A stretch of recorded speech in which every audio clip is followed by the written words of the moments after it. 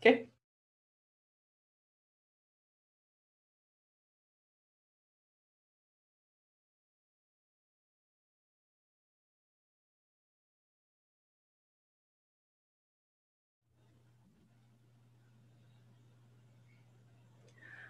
Good afternoon, everyone. Thank you for being here this evening, and thank you so much to Foto.no for having me. Um, little bit about me to start. So I'm Charlene Winfred, um, and I was born and raised in Singapore. In 1999, I moved to Australia to go to university and ended up staying for the next 14 years. Um, I had always been interested in cameras because I'm kind of nerdy, but Australia was where I actually got to do something about it. Um, because once I started working, I could actually afford to buy one, a camera that is. So I started photography in the late 2000s and went straight into digital. Um, for me, there was an instant connection to photography, to digital, just doing everything on the computer. And some years later, I actually started a wedding photography business with a friend. So we had this business for a good five years while still working at our day jobs. And it taught us a lot about the business of photography, lessons which I'm grateful for to this day. But then it all changed. So in 2013, I was fed up of the nine to five life. I was convinced that there was something more to living than that routine. Um, so I decided to see for myself. I left my job. I sold my house and car and either sold, gave away, or discarded everything that I couldn't carry with me. In January of 2013, I found myself on a plane to North America with everything I owned in two bags. And that was the start of my nomad life, which I might add is on hold right now because of COVID. But today I'm sharing the story of that journey and that is also a journey that I've always had a, a Fuji X series camera with me on. So I thought I would give you, actually, before I go on, I just wanted to say that um, I know uh, a lot of you are watch, probably watching this on YouTube. Uh, please feel free to ask questions. Uh, Thomas, who's moderating, will collect those questions and we can have a Q&A session at the end of this presentation. Okay, back to the camera. I thought I would give you some background on my history with Fujifilm before we go on. So I sustained a back injury in 2011, and my physiotherapist told me I had to stop carrying my 20 kilos of DSLR gear uh, on to wedding shoots every weekend. So I stopped shooting weddings at that point. But I had always wanted a smaller and lighter camera for my personal work. Um, so enter the X Pro 1, which is the uh, camera in the picture, which you, you can see too, it's been through a certain kind of hell and back. Um, I took these pictures in 2015 after three years of traveling and daily heavy use in that time. Um, so it wasn't a honeymoon at the start. I found the Pro One surprisingly difficult to adjust to, largely because it was so slow after my machine gun DSLR. Um, but there was always something about about it, like the working so hard for one shot, you know, the, the funny way in which I had to operate it that what I was so unfamiliar with. I just, I just fell in love. And um, in 2014, I was appointed an X-Photographer, which is what Fujifilm calls their ambassadors, on the strength of my work with the X Pro 1 and um, the XF35 f1.4 lens that you see in the picture there this kit was the only camera gear I had for several years, and I got to know it really, really well. Then enter the X Pro 2. So in 2015, I was part of the X Pro 2 promotional project. And so, of course, once it was out, I got a production body almost immediately. This, this beautiful graphite baby that you see in the photo is almost five years old, five years old at this point and it's still my primary camera. I was part of the X Pro 3 launch project in 2019, and I loved the new X Pro 3. I'd always told Fuji that, you know, when they made all of these new incarnations of X Pro, they must have had somebody like me in mind, because for me, after the initial learning curve of the X Pro 1, everything fell into place and I found it really, really, really uh, intuitive. And I've enjoyed using um, later models of X Pro. But in, in 2020, I really resisted getting myself an X Pro 3. I mean, largely because I don't need it. There's, there's nothing that my X Pro 2 can't do that I need it to do. Um, and so, so five years, X Pro 2. This was gonna be the end of my camera show and tell, except guess what arrived in the mail just this afternoon? And I'm not, I'm not kidding about this afternoon either, just a few hours ago. Um, it's 11 p.m. now in Singapore. Um, just this afternoon, a few hours ago, courier came, dropped the box off, and this was in it.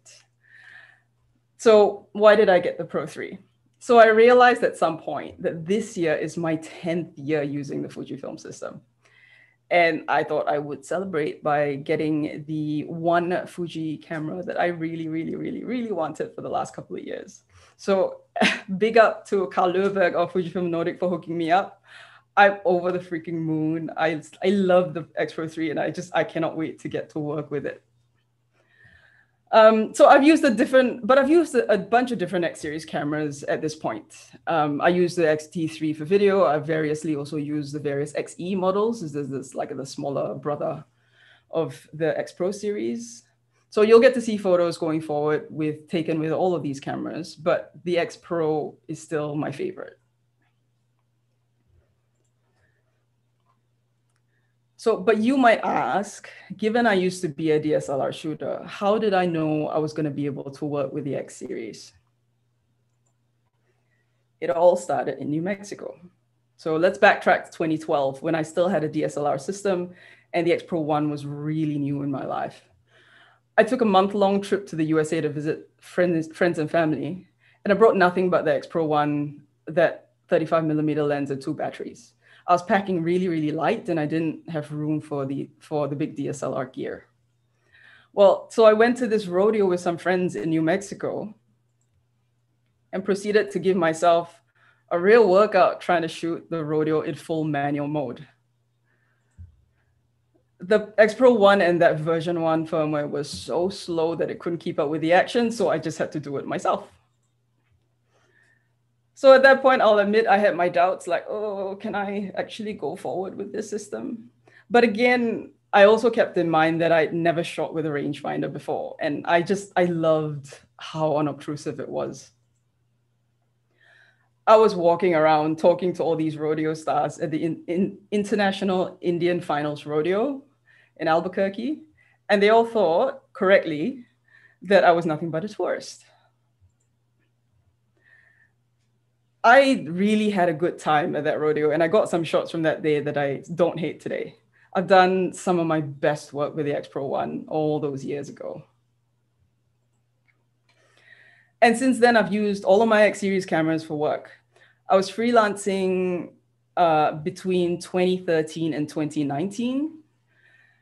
Aside from, in that time, aside from the odd wedding and portraiture commission, um, most of what I shot were events and specifically music events. So Trailer Park Festival was the first of the music events that I ever photographed in Denmark. Um, I'd never been to a music festival in my life. So my eyes were completely open to the vibe and the energy and the raw creativity of an event like this. And I continued shooting summer festivals in and around Denmark and more, more than just pictures, I also made some really great connections with some really incredible people. Um, the guy in this photo is Omar Offendum. He's a Syrian American hip hop artist. He had been, the, the day that I shot this, he had been speaking about the Syrian civil war that afternoon as part of his artist talk for the festival. In 2013, the war had been going on for two years. And it's heartbreaking to think now 10, that you know, um, that the Syrian people have been suffering from war for 10 years today, or this month, including many of Omar's own family who are, who are still in Syria.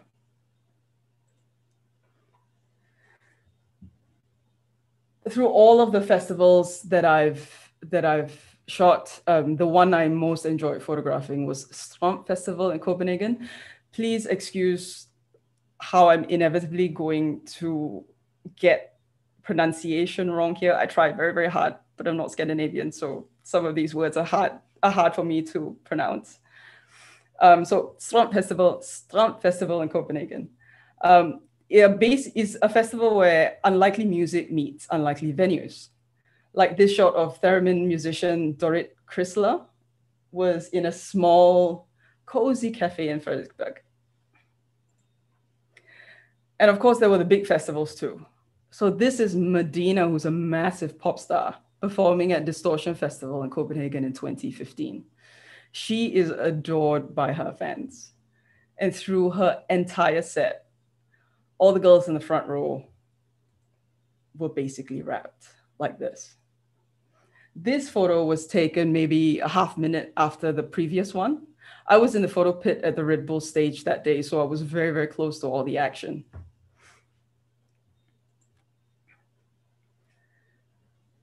Um, this is Danish artist Zach Christ at Bas Boom Festival in Aarhus in 2014.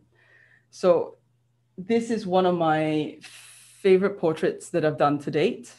Zach Christ, as I remember him that day, is the embodiment of courage under fire.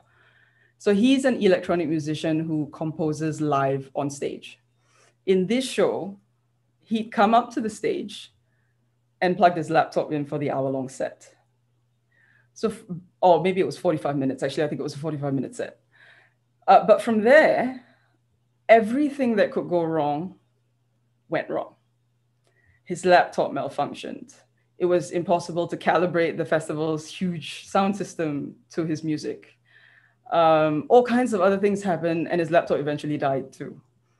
But I gotta give it to Zach. He tried and tried, and he just kept trying through that whole 45 minutes. He would try something, something would fail, he'd run around, apologize to the audience, and try again.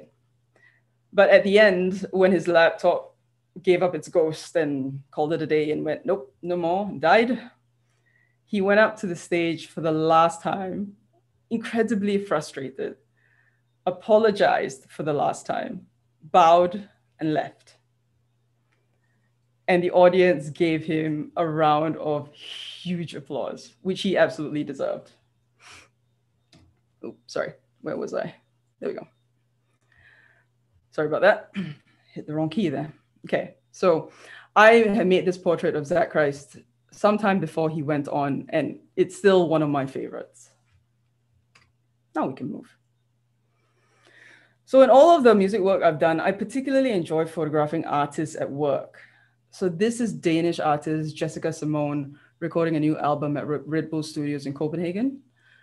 Uh, Jessica and I worked that day to create many, many portraits for her new album. It was a it was a privilege for me to speak to her and hear her story, and document that part of her life's journey. I think this is one of the one of the great things about photography that it gives you an in into someone else's life, someone else's work, and really helps you to understand what meaning is to different people. Okay, but I did promise you travel stories with a camera. So let's go back to 2013.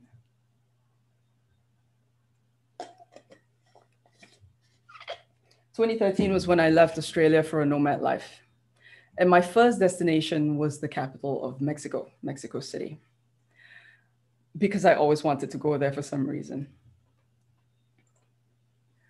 So Mexico City is everything you'd expect a sprawling city of 20 something million people to be. It was mad in all the best ways. It had all kinds of strange sights too, especially to someone who's used to the quietness of Australian cities or the order of Singapore.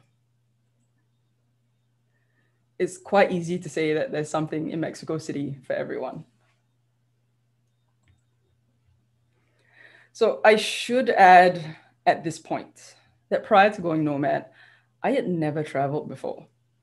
So I migrated from Singapore to Australia, but migration, which is moving from one place to the other with the intention of sinking roots, is quite different to traveling, where you're sort of in it for the new and the unfamiliar, and you don't need to undertake the massive work of building a life in your new place. So in Mexico, I was there for three months and I got to spend the time to experience all these new things, figure out who I was, and figure out, you know, what, what other people are like too. Um, this is this is Carlos, a friend of mine. I jokingly called him after a while my hermano de otra madre, which is brother from another mother in, in Spanish, as we would jokingly translated it, um, because we were so alike, down to our names that we might as well have been siblings. Carlos is Charles in Spanish, and Charlene is the feminine version of Charles in Spanish. Um, the light was super good at this corner um, that Carlos is sitting in here. And in the three months I was in Mexico City, he and I and, and some of his friends would hang out here quite a lot, just to people watch. Because this was in the, the center, center of the city. So there was tons of people walking by. He would sketch and I would take pictures like this one, which was taken from the exact same place he was sitting in in the shot before. But Mexico City was also the place I stepped into a dark room for the first time. I'd mentioned earlier that I started photography with digital, so never I've never had anything to do with film. This lab belongs to a photographer called Pablo Aguinaco, who taught me how to develop and print photos. Um, that's Pablo in the picture. Um, photo was taken with my X Pro 1 at ISO 6400, and that was really pushing it at the time. The original RAW file is ridiculously noisy. So thank goodness for excellent noise reduction in Lightroom. I met a whole bunch of other creative types too.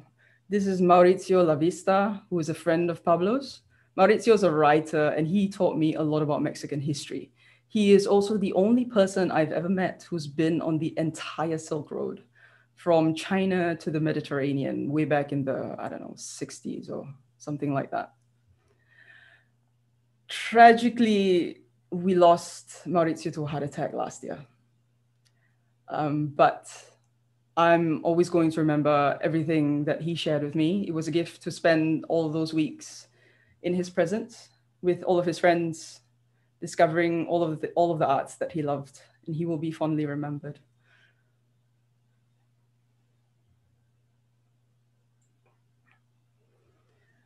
Twenty thirteen was a special year for me. Mexico City might just be the crowning jewel of all of those highlights. And I still, to this day, hope to return again for a very long time someday.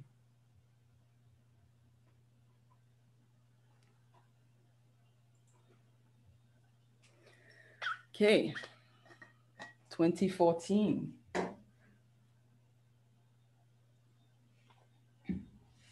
So 2014 was a wild year. I lost my father to cancer at the end of 2013. And so in 2014, after a year of much grief and tumult in the family, I was lucky enough to work the grief out, to process the grief with a lot of travel. My boyfriend Fleming and I took an epic three month, 16,000 kilometer road trip through the western half of, of USA. We saw many awe-inspiring scenes like this, Grand Canyon, which which never which never fails to impress, no matter how many times you've been there. And other scenes in small towns that I would have thought only existed on TV. Clearly, they actually exist in real life too. Um, but we also got to visit a lot of national parks that year. The highlight of all of these national parks was Yellowstone National Park up in Wyoming. It was late spring when we got there and we just dr driven past the park entry when we saw this. The bison looked pretty small, ambling up the road towards our car. Um, I mean, we were still somewhat alarmed, having never encountered one before. Luckily, it adjusted course and walked by the car when it got to us. Um, But that was also when we realized that it was the size of the Ford Focus we were in and probably weighed the same too.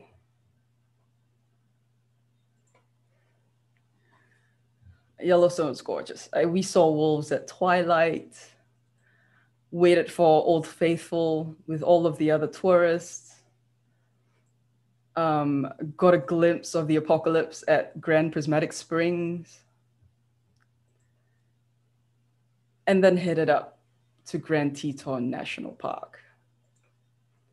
Where we got to stand at the spot where Ansel Adams made his famous photograph of Snake River against the mountains. This, this was photographic nirvana.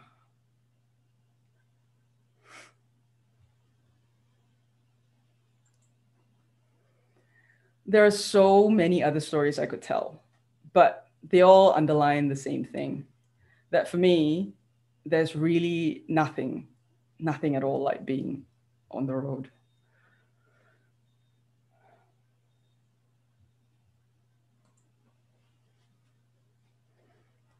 All right, 2015. 2015, I was part of the X Pro 2 project. So Fleming and I decided to head to Sri Lanka to see what we would find, since neither of us had been there before. So except for this photo, I made the entire project about the railway. And the people who took the train into Colombo Central Station the train, I might add, that ran by the, right by the sea. For that project, um, we really wanted to test the high ISO capability in the Pro 2. And Colombo Central Station at night really tested the X Pro 2's low light capability. This is a JPEG straight from the camera, I believe, and shot at ISO 10,000.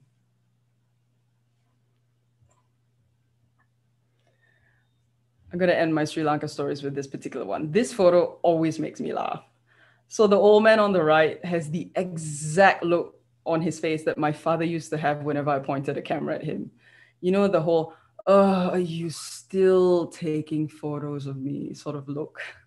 I don't know how many of you have parents that do that, but um, mine certainly did. So he was quite amused though, the, the old man in the, in the shot um, after after I took the photo and then I just kind of smiled at him and waved a little bit across the aisle. I guess he's quite used to Taurus.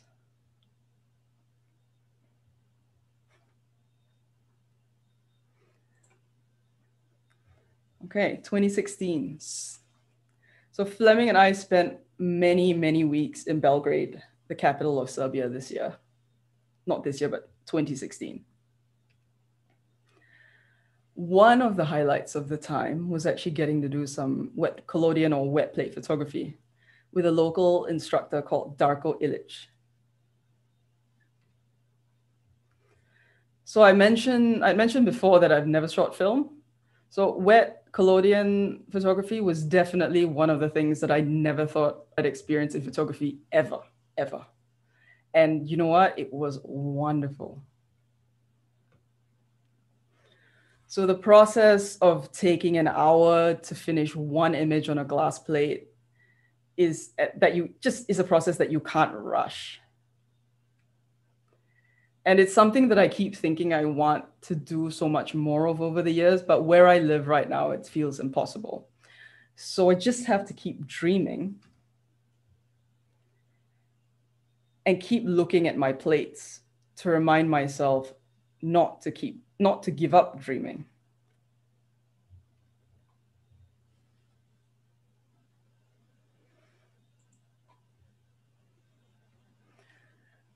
New Zealand, 2017.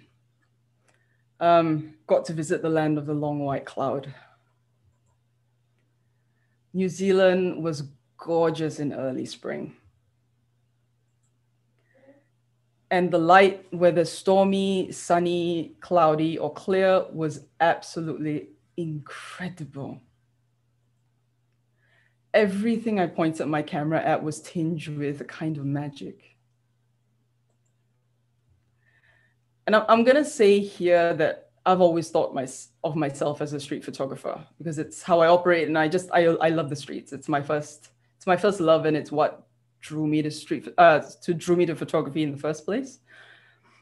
I mean, but but when when I was in New Zealand, I was faced with these like incredible, just jaw dropping scenes. It was really it was impossible, really, not to turn into some kind of crazed landscape shooters. So I spent about six weeks shooting nothing but landscapes. Very often at f1.2 on the 56 because it was all all these scenes were just so still and so dreamy and so magical and that shallow depth of field just just added a little bit to the surrealness of the scene. So fleming and i had planned to drive from auckland in north island and make our way down to south island but a couple of weeks actually into this trip um, we got into a car accident um, nothing bad happened, thankfully, but we did also decide in the end that we were too sore for anything more adventurous than meandering very, very slowly and very, very carefully to various forests, beaches, and parks. I mean, we didn't break anything, although the, the car the car we were driving at the time was total, but we were very extremely bruised from from the accident. So, um, so it was just slow going from there in any other place, that would have been a real shame. I think I would have been annoyed and just disappointed. But seriously, everywhere you turn in New Zealand, you just get gifted with this incredible light. So it wasn't such a bad thing after all.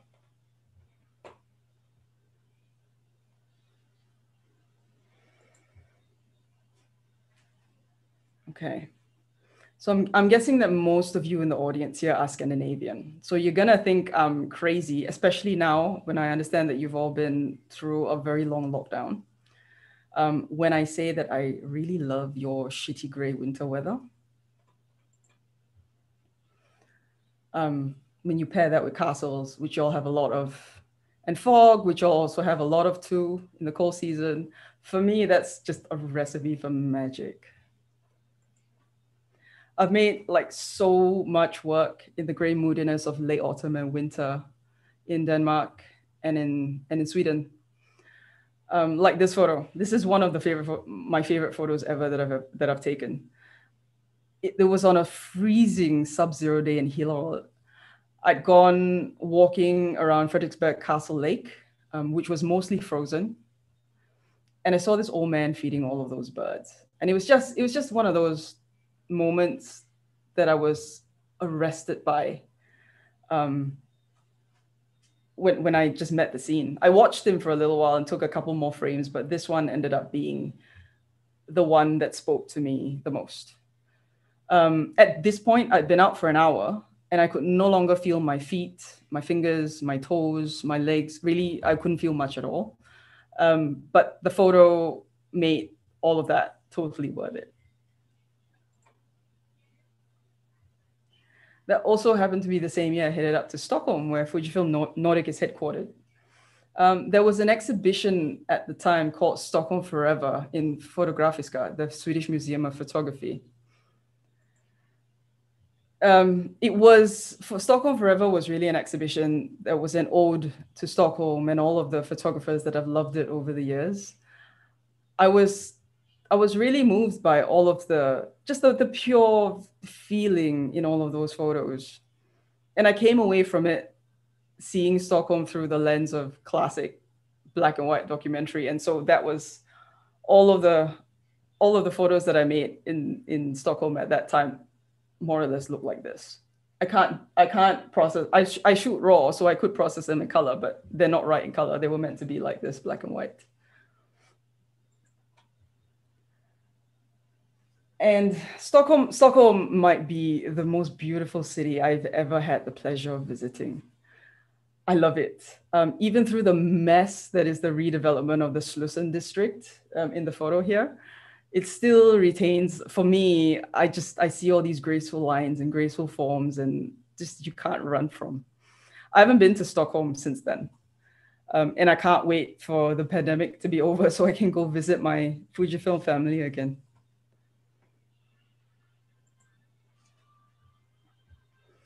Okay now we're up to 2019 so in 2019 i moved to iraq for a year the kurdish kurdistan or the kurdish region autonomous kurdish region in iraq. So most people outside the region think of Iraq as a place that is riddled by war and destruction and bombs and ISIS and whatnot. Um, that's not wrong, but also ordinary life happens too in Iraq. People go paragliding and they have picnics on the mountain to catch a sunset amidst all of the war and destruction and just all of the strife that Iraq has gone through in the last 30, 40 years. There's still moments of just incredible beauty and, and profundity all over Iraq. Like for instance, here's a photo you, you rarely see of Iraq. The fact that it's green in spring.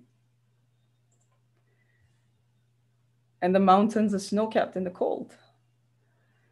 Um, the, this is the, this is Pir Mountain um, up by the city of Sulaymaniyah. It's a, it's, an, it's a great sentinel in the springtime to a 70s Russian military facility, which is now converted into a maximum security prison for, among other things, convicted ISIS members.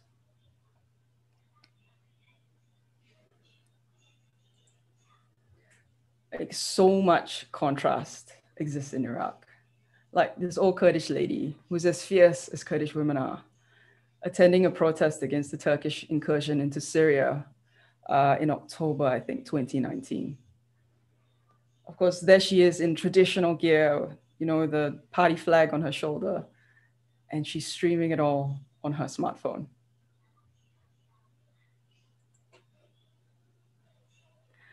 There were raves too in Iraq. I wasn't expecting to attend a music festival or rave in Iraq. So, for one reason or the other, I was pleasantly surprised to have attended this one. This, this is the first um, that was organized in Sulaymaniyah, which is the city where I was based.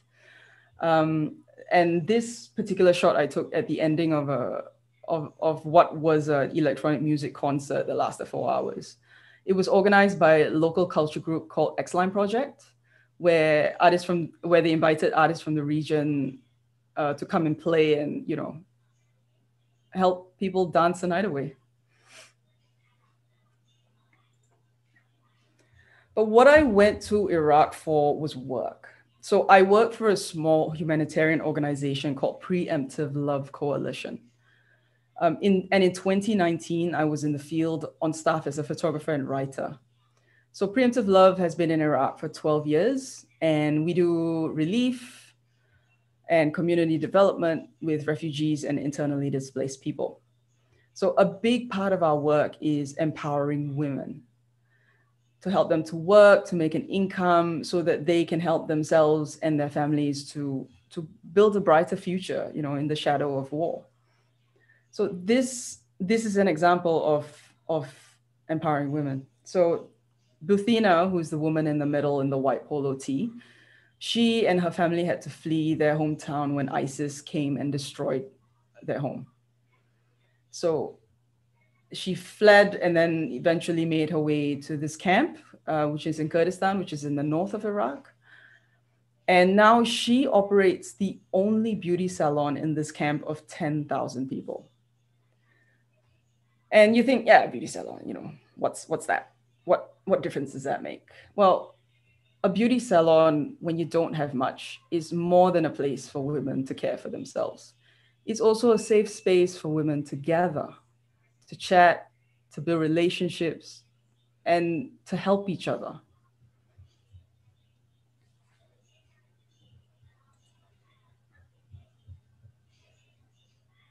This is Kolo. He's a Yazidi and he runs a big farm with his brothers in Sinjar, um, which is the town where ISIS came to wage genocide on his people in 2014 their family was really lucky to escape with their lives. Today, Kolo and his brothers have better lives because of the help that preemptive love donors give them um, to help their farm and their families and communities rise from that insane devastation and trauma. So I, I visited um, Kolo as a field assignment for work in 2019. And so he and I don't share a common language.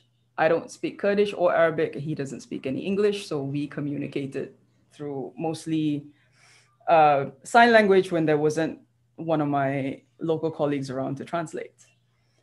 But, you know, language is so much more than just words.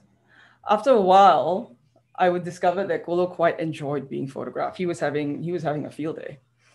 Um, so I got a lot of good shots for him because he was extremely obliging and would pose in, in you know in all sorts of very fun ways.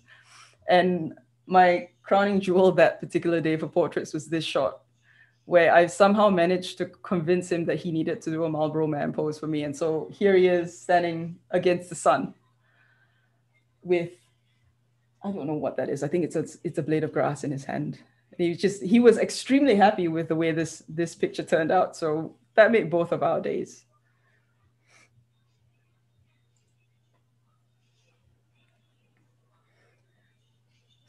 This is Dr. Abdul Qadir. He operates a clinic in one of the last towns to be liberated from ISIS in Iraq.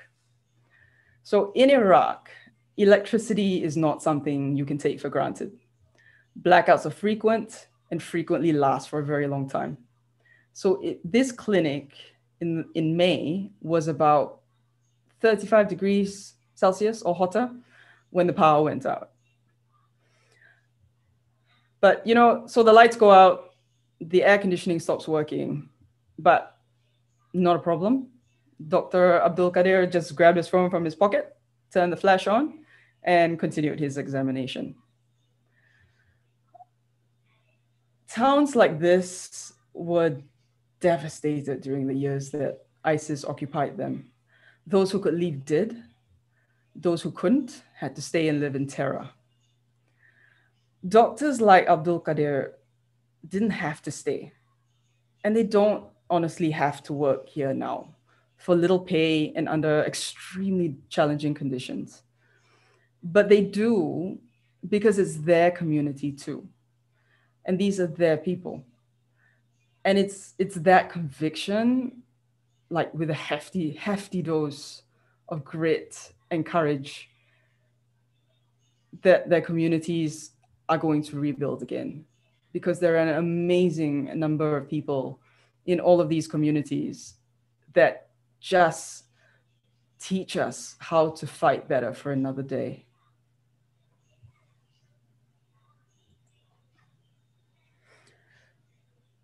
So, most of the stories that I've heard from refugees and internally displaced people are really hard stories. Um, you'll notice I say refugee and internally displaced. I'll give you a really quick summation, uh, definition of what the difference is. An internally displaced person is someone who is has been displaced, whether by by war or something, inside their own country. So they're still in their own country. And a refugee is someone from across an international border. Um, so, so yeah, so this Kawakep is an internally displaced Iraqi. Now, when everything in your life is taken away from you and destroyed, it just it does terrible things to your spirit. I mean, living in a tent in a displacement camp, often at the mercy of the seasons, with questionable supply of electricity, water, food, it's no walk in the park, to say the least but there are wins, you know, like helping women to start a business they've always wanted and watching them flourish. So Kawakep is the is the lady in the middle of the frame, and my colleagues Inas on the left and Ashley on the right. So our organization started a business for Kawakep selling clothing because she'd always wanted um, a clothing store. She had done so well that when she went that she went from being a super quiet super reserved person when we first met her to to quite quite a star. Like she she would she just every time we visit her, she'd make all these endless jokes with this twinkle in her eye, and some of them were quite naughty. And you'll notice in the photo that both my colleagues on the side of the frame are laughing. I was laughing too when I took this this photo because Kawakep was telling a mother-in-law joke. Um, it's so it's just really great to see. There's a lot of hardship in displacement camps. There's a lot of hardship in Iraq, as there are in any place that's been devastated by war. But it's just the, the really small human things like that that give you hope, you know, and give everyone hope and, and gives gives them a reason to continue to continue working towards something better. Kawakep loves her store. So for her, Mondays are good days, Tuesdays are good days, every day is a good day, just like Fridays or Saturdays.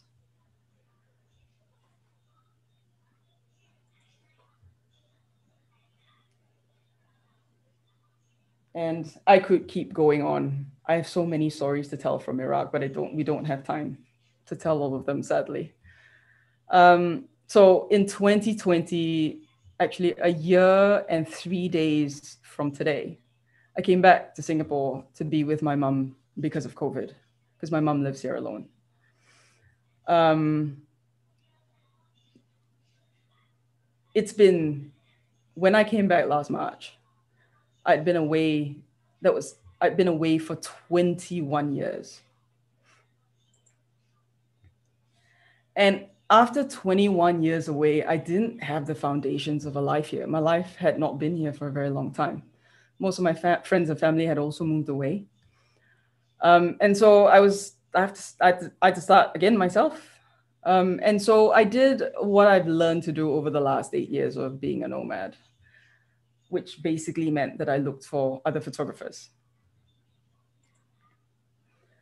So Marie Daly and I had connected years before because of a global collective called Women in Street, um, with the street being street photography. So in the in the photo, Marie's the one with the black shirt, short hair, and glasses who's looking at her phone. So Marie and I Maria and I agreed to meet, and one day we were talking, and we and we said, wouldn't it be nice to have a community of women street photographers here to shoot with? And so in October last year, Women in Street Singapore was born. Today, six months later, we're a thriving community of more than 50 dead keen street photographers and a, and a larger and a larger global community of, I don't know, hundreds um, in Singapore, we go for photo walks um, within COVID social distancing guidelines, of course. We have various online spaces to chat about all things photography, run competitions, and are planning our first exhibition or book um, later this year.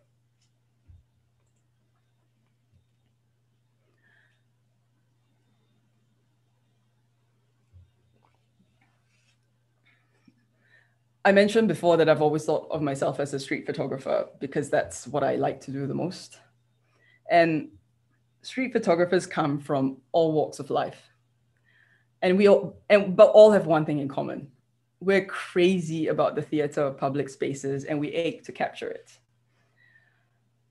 Not all photographers do this, practice this, or enjoy this. So there is, for me, there is just nothing like hanging out with fellow street photographers, even in a pandemic, and maybe especially in a pandemic.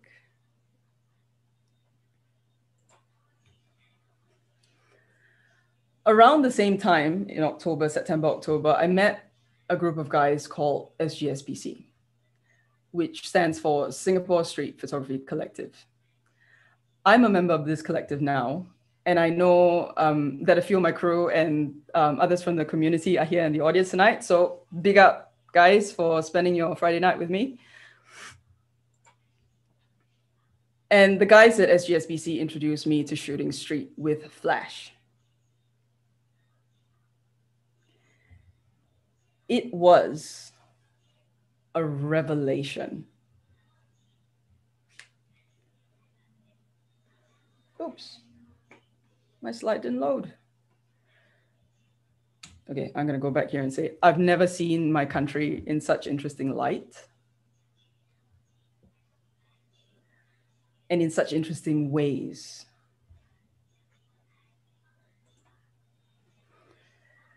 And it's been, I've never used Flash much at all in my entire time with a camera, which has been just over 10 years.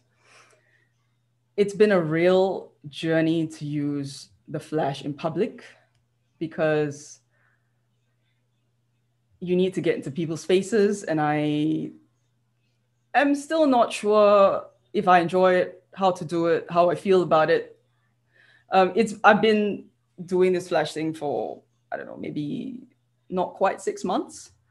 So this is something I'm definitely going to keep exploring as time goes on and experimenting with as well. Um, I have SGSPC to thank for this though. It's it's really been a revelation. And special shout out to Aoi and Den who taught me how to use my little Fuji EF-X8 hot shoe flash as well to make all these pictures.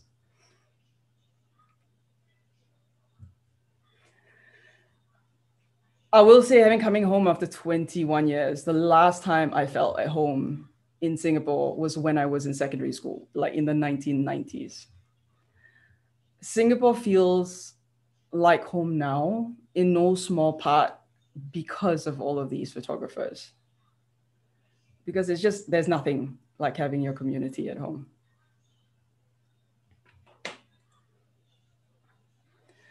And while I'm talking about photographic community as well, here's my buddy Ehsan Ibrahim, who he filmed my X Pro 3 promotional video in 2019, which you can find on um, Fujifilm Global's YouTube channel. I think yes, Fujifilm Global's YouTube channel. My bad. So I've been I've been really lucky to call so many different and beautiful places home over the course of my life. And almost always it's because there was either just a group or a community of photographers who adopted me, who showed me how to work with the light in their home how you know just just the gift of of perspective that only another photographer can give to you because they feel it's important to pass that on. That that's really special and i mean photography is so much more than cameras and lenses and pixels it would be nothing without all of the people in and around it.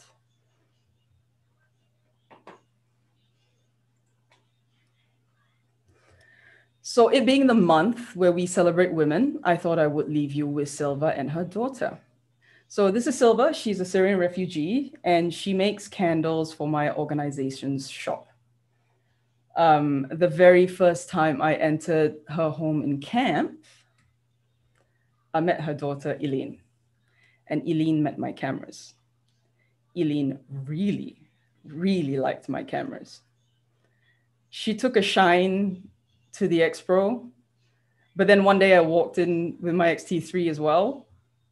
And then when she saw it, she fell in love. Um, I look at this. So Eileen is six, actually. I, I will say before I go on.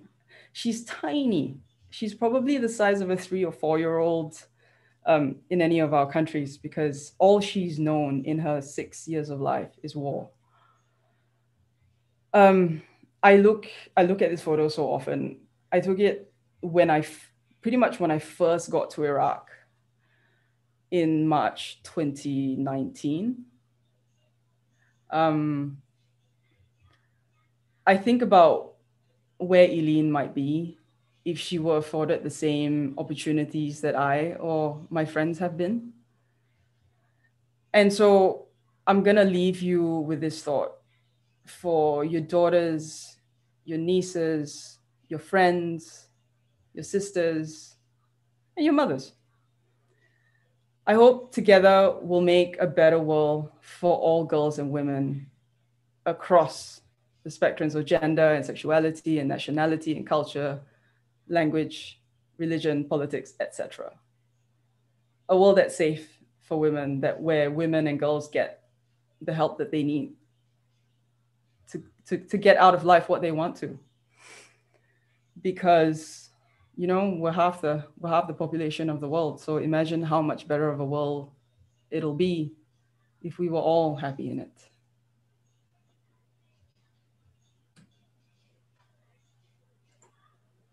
And that ends my talk. Thank you. Thank you so much. Um, we have a couple of questions. Cool. Should um, I, Thomas, should I stop sharing my screen? Yeah, you can. Okay. I'll put you on. There we go. A um, couple of questions. Um, mm -hmm. As Dean writes, Hi Charlene, I love your photos, they look amazing, and I have a question for you. What's it like shooting streets in Singapore compared to shooting overseas? I will say that Singapore is a really easy place to shoot street. People here are used to cameras for the most part, although you know you get scolded every once in a while, but people are used to cameras and they're not very confrontational and so there's lots of opportunity to really explore street, the, the sort of street you want to shoot here. Great, thank you. Uh, and also, uh, Pierre asks, Hi, love your photos. Do you ask for permission to take portraits on the streets? Oh, that's a good question. When I started shooting with flash, I didn't because it's just I I think I, I take the approach of you keep walking and you shoot. But I think over time, as I've gotten more comfortable with Flash, and I also have gotten more comfortable with how to how to use the Flash, which I might add I had no idea about in the beginning. I try and get uh, implied consent. I try in general to make sure that people see me coming, that they see what I'm doing, and that they also have the opportunity to, you know, take me up on it if they should, you know, like have I, I I make I make it a point to have a conversation with people who are unhappy about what I'm doing. I delete pictures when I'm asked to. Um, not not all the time, depending on how fast I'm walking, but um, in general, I try to be good about it and to be and to have the conversation with people because I think a lot of people don't understand why people shoot street, what street shooting is about. And often when you stop to show someone what it is, you know, the photo you've taken of them or with them in it, they start they stop and they, and they stop and they have the conversation and then suddenly they're like, oh wow, that's that's that's that's interesting. I've I've never I've never thought about it that way before. So yeah, so I, I do try I do try my best to make sure that people know that I'm that I'm shooting them, photographing them. I'm sorry, I shouldn't say shooting, but photographing them. Yeah. Uh, Sandra Alberg writes just awesome talk. Uh, Tone writes thank you for taking us on such a vivid journey. And uh, Tony asked, I guess uh, one things are back to normal. Where is the first place you plan to go revisit and shoot? The very first place is Malaysia. So I have family all over the world, and right next door to Singapore is Malaysia. We all used to be part of the same country. Um, I have a one of my sisters actually lives there, and I'm really close to her, and I I miss her terribly, and my niece and my nephew as well. When I'm back in Singapore, I take travel to Malaysia for granted. Many Singaporeans came from Malaysia and have family in Malaysia, so traveling back and forth is just something I think a lot of us are quite used to. Um, coming back during the pandemic to shut borders has been absolutely terrible. I miss my family terribly, and I missed all of my friends and all of the people that I that I've come to think of as family. So yeah, it's going to be doing the rounds. It's to be it's going to be Malaysia first, then Denmark, then Sweden, then the USA, where I have another sister as well. Awesome. And the last one is a comment that says, uh, Adriana writes, amazing stories and stunning photos. Thank you so much for a very interesting hour and you are very inspiring. And we thank you as well for uh, the amazing talk. Oh, thank you. Thank you for having me. And I, I have to say before we go that um, big, big shout out to Fujifilm Nordic who have been my, who have been just giving me this amazing support over all of the years that I've been an X-Photographer, uh, particularly to Carl Löfberg in Sweden and Ib Tordell in Denmark. Um, these, I would not be doing what I'm doing today if not for the two of them. So big, big, big shout out to two of them. Thank you so much. Yeah. Thank you for having me. It's been an honor. Yes. Bye bye.